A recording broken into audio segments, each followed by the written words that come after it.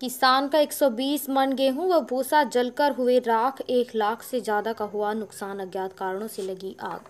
बयाना थाना क्षेत्र के गाँव मेहरावर में सोमवार शाम अज्ञात कारणों से एक किसान के खलिहान में आग लग गई। आगजनी में खलिहान में रखा करीब 50 मन गेहूँ और करीब 70 मन भूसा जलकर खाक हो गया। आग की लपटें उठती देख आसपास के खेतों में काम कर रहे किसान दौड़कर मौके पर पहुँचे। करीब दो घंटे की मशक्कत के बाद किसानों ने आग पर काबू पाया। इससे पीड़ित किसान को करीब एक लाख का नुकसान हो गया।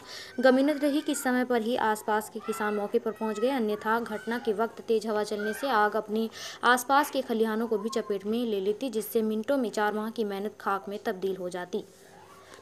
स्थानीय निवासी देवसेना के प्रदेश सचिव उत्तम सिंह ठेकेदार ने बताया कि सोमवार शाम गाँव के दरियब सिंह के खलिहान में अज्ञात कारणों के चलते अचानक आग लग गई। आग से खेत में घर ले जाने के लिए तैयार रखे पचास मन गेहूँ और सैकड़ों मन चारा तूड़ी जलकर राख हो गए। उत्तम सिंह के ने बताया कि किसान ने चार महीने तक खेत में हाड़ तोड़ मेहनत की थी, लेकिन मिनटों में ही उसकी पूरी मेहनत और लागत आग में खाक हो गई। पीड़ित किसान के सामने अब दुख का और परिवार का पेट भरने का भी संकट खड़ा हो गया है।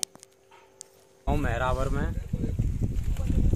आग लगने की वजह से दर्याब सिंह नाम के व्यक्ति का लाखों रुपए का नुकसान हो चुका है। तो प्रशासन से उम्मीद करते हैं उक्त व्यक्ति को सहायता देने की कृपा करें। और उक्त व्यक्ति की जिससे भरपाई हो सके, लाखों रुपए का नुकसान हुआ है, आग लगने